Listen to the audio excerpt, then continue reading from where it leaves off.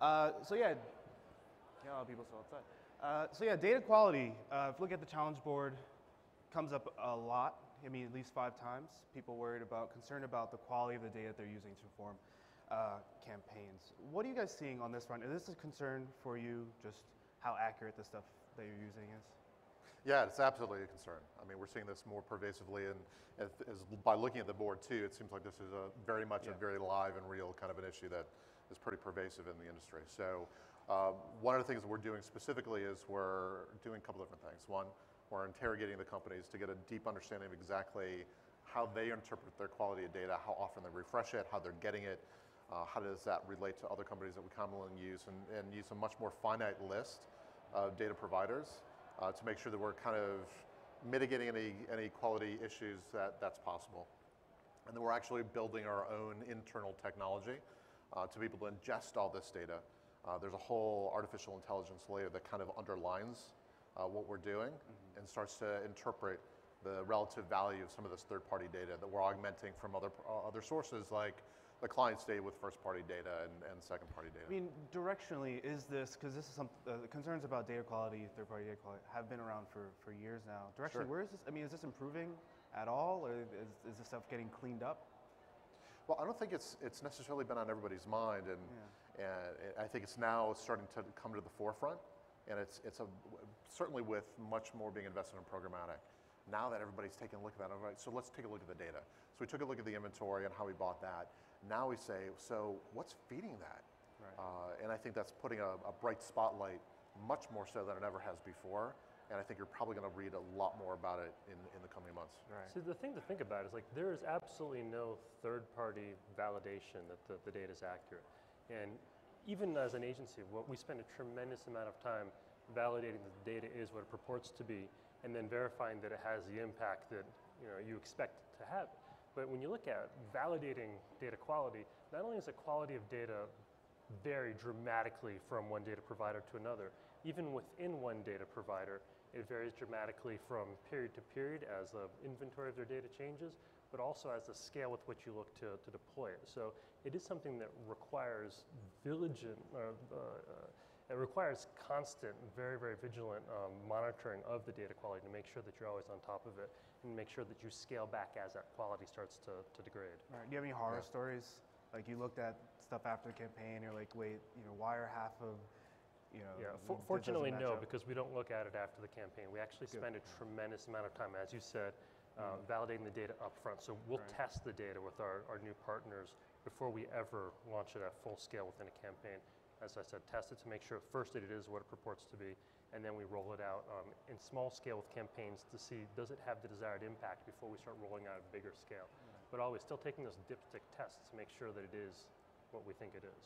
Got it, got it. Let's talk about um, clients, because obviously one way to you know reduce the reliance on third party is to get the first parties to be better about collecting it. I mean, what, what challenges are you seeing there in, in, in getting more interest from, from clients to be collecting and organizing their, their, their own data better. Yeah, when we talk about data quality, I always say like the most valuable data is first party data. Right. Clients telling, you know, what data should we be using? Well, you should first be using your own data and using that to the best of your abilities.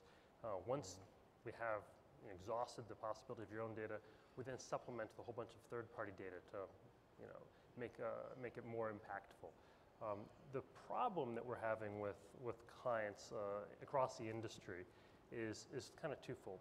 There are, there are some clients that just have kind of trepidation and, and fear, and, and a lot of times it's because of the industry that they're operating in. So if you think about like finance companies or healthcare companies, there's a tremendous amount of regulation around PII, and there's a tremendous amount of, of just unease within their legal departments because they don't quite understand what we're doing. Um, the other side of the coins might be uh, a bit controversial and hard to hear for clients, but it's really it's a lack of motivation on their part to uh, put in the, the time and, and, money to invest in the, the, technologies that are going to be required in order to, to collect, standardize, and make this data portable so that it can be used by the agencies. All right, Brian, you seen similar? similar things? Yeah, I would agree a lot with, with what Michael said. I think we're seeing some very similar issues on our side. I think there is this hesitancy to say, Uh, is there sensitivity in releasing the data to an agency to be able to use that and ingest that to be, ab- be able to market out, layer second and third party data over it? Um, I think there's also some barriers from, uh, from an infrastructure standpoint. So generally, the folks that have access to, to be able to cookie and identify and get a- access to website uh, and site-side analytics, uh, generally a different organization. Um, in some instances, within Razorfish specifically, we, we kind of do it end-to-end. So not only we produce the website, but we actually place the media as well. We literally have to go down the hall and say, you know, we need to, to pixel certain pages, we need to get access to this data.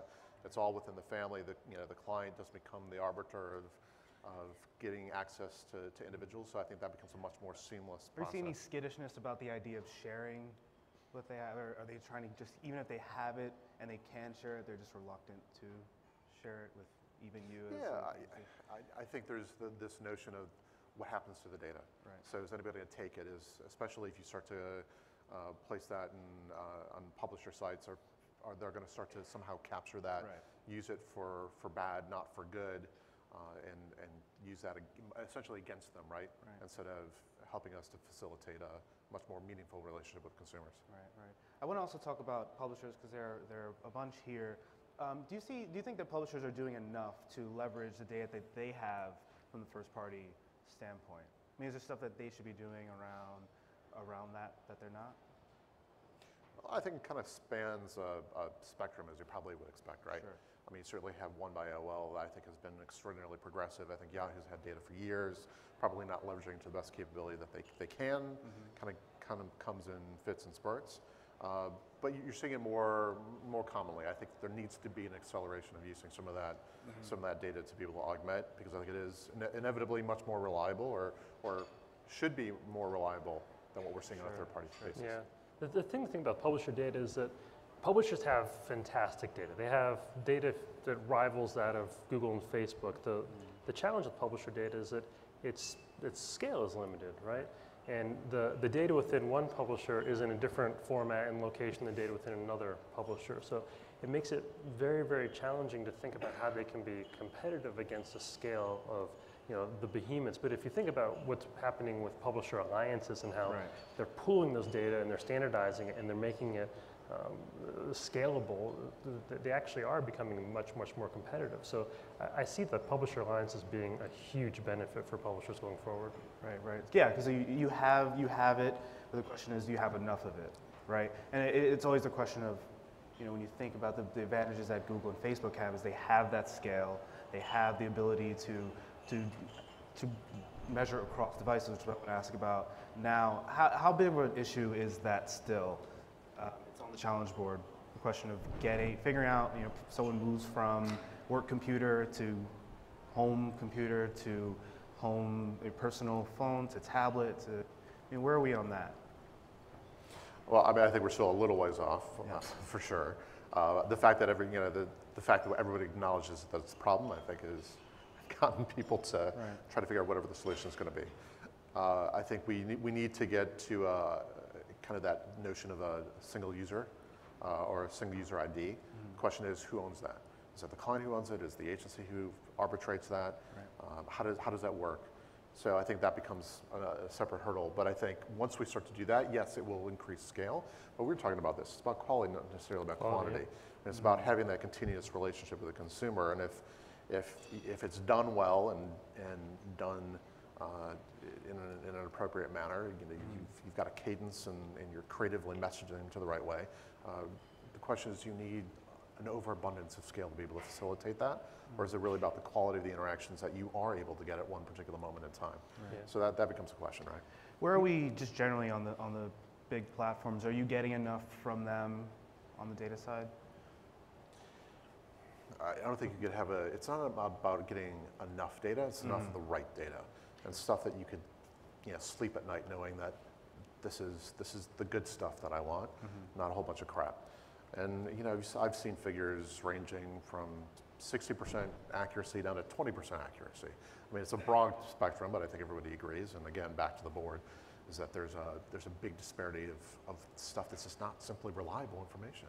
Even if it is, we're talking about we have a whole bunch of different platforms and different device types, different publishers, and data sets sitting in all these different places in different formats. You have to pull from different APIs. It creates a tremendous amount of complexity. Each, even if each individual platform is giving you the right data, the highest quality data, and they're giving it to you very easily, you still have to pull that all together somehow. You have to put it into one centralized place. You have to standardize it before you can actually do any of the interesting things you want to do, either in the programmatic media or with your advanced analytics or even with something as basic as reporting. Right, and that's my next question because now you have all these sources across, you know, all reporting different ways and what they think are important. Now you have the challenge of, you know, being on the analytics side, figuring out what's actually important, how to standardize it. Right. Right. I mean, is this an issue at Razorfish?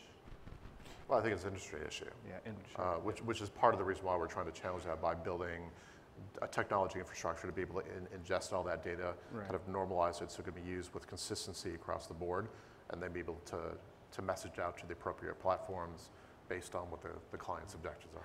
All right, great. Well, we have a few minutes for questions if anyone has any. Not seeing any hands. No, no. We got Oh, one we got one here. over here.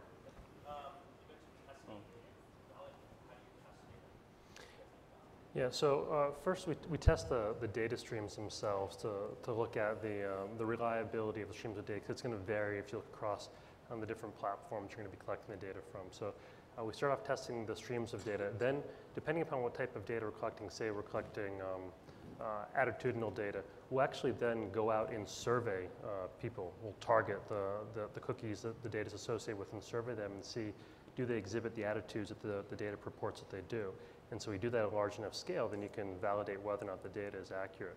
And then after that, we continue to test uh, to see that when we deploy that data, does it have the desired impact? So we'll, we'll separate um, well, the targets and we'll just randomly split them either by cookies or device IDs and say these people are going to be optimizing towards that data, these people will be doing everything as usual without doing that, and then measuring the impact of both of them and seeing does it have the desired impact. So it's like three stages of testing. Great. Anyone else? Hi there. Uh, question about publisher first-party data. How are you using it as a strategy? And then are you activating it through private marketplace deals as well? Uh, Yeah, so the, so the answer to that is, what was the second part of your question? So the, the private marketplaces are the best way to be able to execute that, that we've been able to find. Um, Because we do have access to very discrete pools of inventory, we are leveraging the data pools uh, in, in a variety of different ways. But, but that seems to be much, much more reliable. And then again, we will cross-reference that with other data streams, both third and first party, to kind of validate, is the inventory pools that we're seeing consistent with, with, with the inventory from the publisher saying it, it is? And, and then we get a pretty, pretty good picture of, of what we're dealing with. All right, I think we'll leave it there. Thank you both. All right, thanks very much. Appreciate it. Thank you. Stage right.